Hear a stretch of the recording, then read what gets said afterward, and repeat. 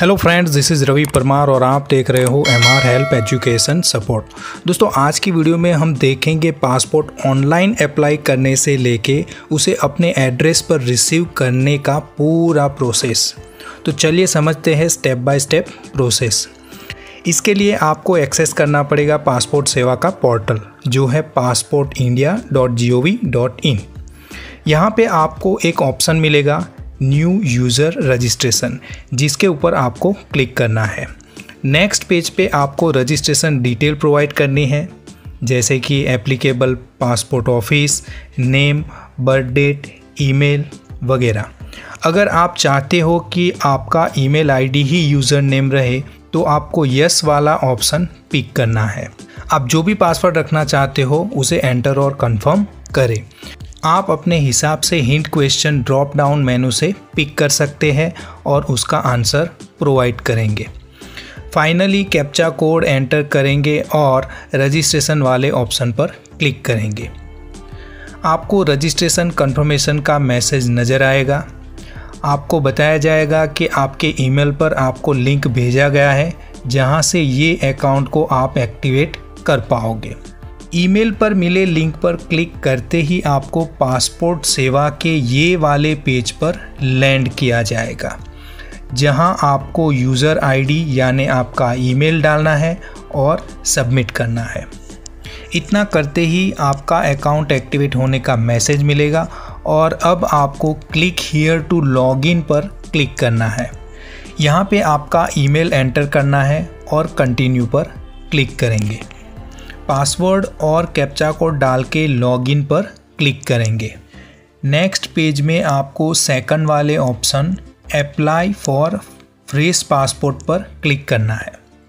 आपको अप्लाई करने के दो ऑप्शन मिलेंगे अप्लाई ऑनलाइन और अप्लाई ऑफलाइन आपको पहले वाले ऑप्शन पर क्लिक करना है। अब आपको एप्लीकेबल रीजनल पासपोर्ट ऑफ़िस को चूज़ करना है और सबमिट पर क्लिक करना है। आपको एक पॉपअप मैसेज दिखेगा, जिसमें बताया जा रहा है कि आपके आरपीओ के अंदर फॉल करता जो भी पासपोर्ट सेवा केंद्र है, उसके ऊपर आपको अपीयर होना पड़ेगा मीन्स आपको विज़िट करनी पड़ेगी। यहाँ पे आपको ओके पर क्लिक करना है। नेक्स्ट पेज पर आपको पासपोर्ट से जुड़ी कुछ और डिटेल बतानी है, जैसे फ्रेश पासपोर्ट है या रिन्यू कर रहे हो नॉर्मल है या तत्काल है। तो यहाँ पे आपको नॉर्मल ही चूज़ करना है और बुकलेट कितने पेज की चाहिए वो बताना है और नेक्स्ट पे क्लिक करना है।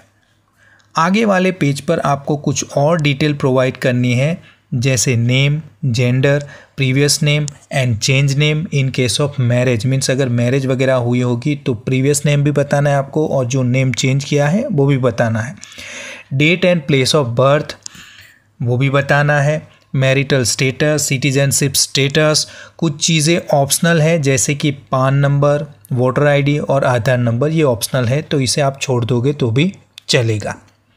लेकिन मैं रेकमेंड करता हूँ कि आपको ये सारी चीज़ें बतानी चाहिए। एम्प्लॉयमेंट टाइप में ड्रॉप डाउन मेन्यू से आपको एप्लीकेबल ऑप्शन पिक करना है। पेरेंट्स या फिर स्पाउस अगर गवर्नमेंट एम्प्लॉय है तो वहाँ यस पिक करना है।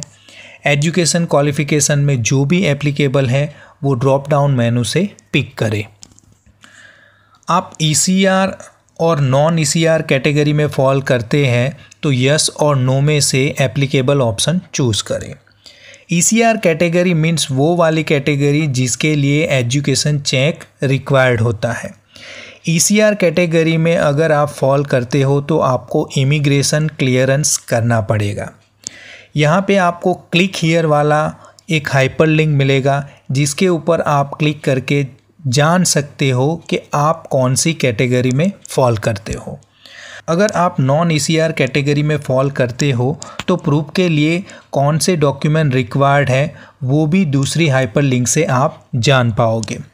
नीचे दिए गए कंसेंट स्टेटमेंट को यस करना है और नेक्स्ट पर क्लिक करना है।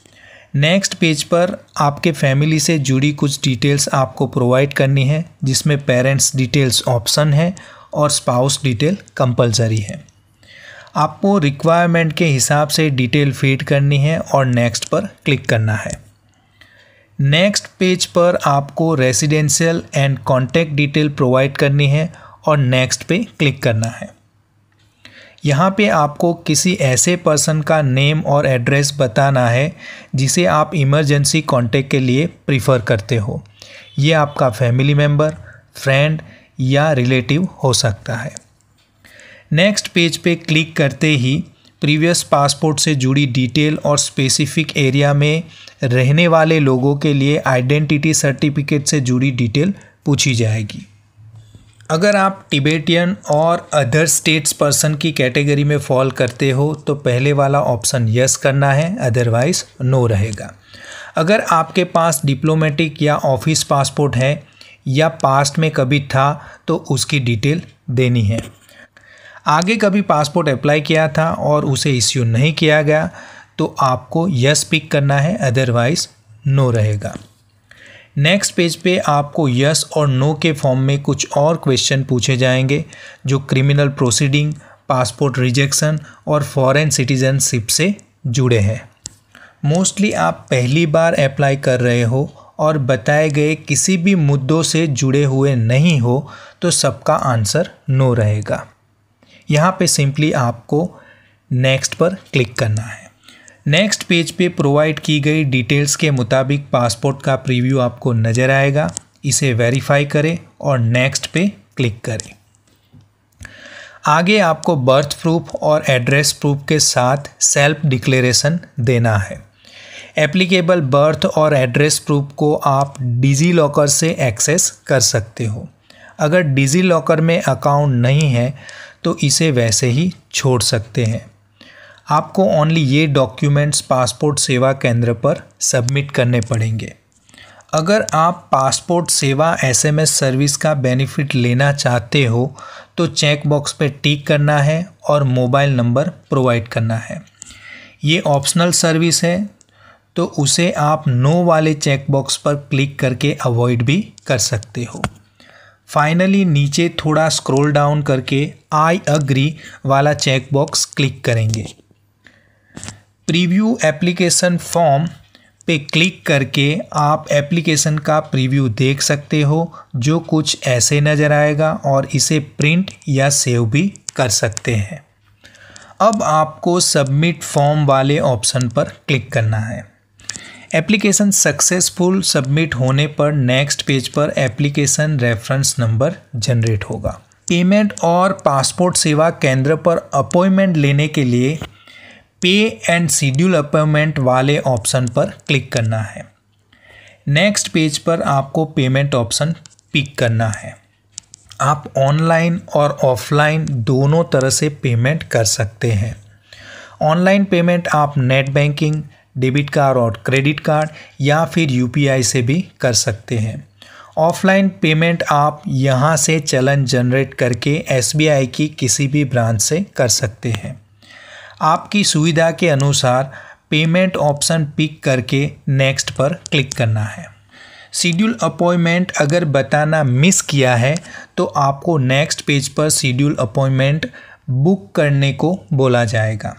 नेक्स्ट पेज पर आपको एप्लीकेबल पासपोर्ट सेवा केंद्र अपॉइंटमेंट के लिए पिक करना है और कैप्चा कोड डाल के नेक्स्ट पे क्लिक करना है। नेक्स्ट पेज पे आपको पेमेंट की अमाउंट बताई जाएगी। नीचे स्क्रॉल डाउन करने पर पेमेंट से जुड़े रूल्स और रेगुलेशन को आप गो थ्रू कर सकते हो। आपको पे एंड बुक अपॉइंटमेंट वाले ऑप्शन पे क्लिक करना है और आपकी सहूलियत के मुताबिक पेमेंट को एग्जीक्यूट करना है। पेमेंट सक्सेसफुल होने पर कुछ इस हिसाब से स्क्रीन पर आपको कंफर्मेशन नज़र आएगा और 10 सेकंड में फिर से पासपोर्ट सेवा पोर्टल पर आपको रिडायरेक्ट किया जाएगा। नेक्स्ट पेज पर आपको अपॉइंटमेंट का कंफर्मेशन बुक अपॉइंटमेंट वाले ऑप्शन पे क्लिक करके करना है। अपॉइंटमेंट बुक होने पर कुछ इस तरह से आपको स्क्रीन नज़र आएगी। स्क्रॉल डाउन करके आपको एप्लीकेशन रिसिप्ट को प्रिंट कर लेना है, जो कुछ इस तरह से दिखेगी। अब आपने एप्लीकेशन प्रोसेस को कंप्लीट कर लिया है और आप जब कभी भी इसे ट्रैक करना चाहो तो पोर्टल पे लॉगिन करके चेक कर सकते हो। अब अपॉइंटमेंट वाले डेट और टाइम पर आपको पासपोर्ट सेवा केंद्र पर application form, payment receipt, original documents और उसकी जेरोक्स कॉपी के साथ विज़िट करना है। पासपोर्ट सेवा केंद्र पर आपके ओरिजिनल डॉक्यूमेंट जैसे कि पैन कार्ड, एजुकेशनल सर्टिफिकेट्स वगैरह को वेरीफाई किया जाएगा। अगर आप कोई करेक्शन करना चाहते हो तो कर सकते हो। आपकी पासपोर्ट के लिए फ़ोटो ली जाएगी और पासपोर्ट एप्लीकेशन की वेरीफाइड कॉपी आपको दी जाएगी। और रीजनल पासपोर्ट ऑफ़िस पे आपकी डिटेल्स डिजिटल फॉर्म में भेजी जाएगी। कुछ दिनों में आपको पुलिस वेरिफिकेशन के लिए कॉल आएगी और आपको पुलिस स्टेशन पे जाके वेरिफिकेशन प्रोसेस को कंप्लीट करना होगा। जहाँ पे आपको पासपोर्ट सेवा केंद्र ने दिया हुआ वेरीफाइड एप्लीकेशन फॉर्म प्रोवाइड करना है।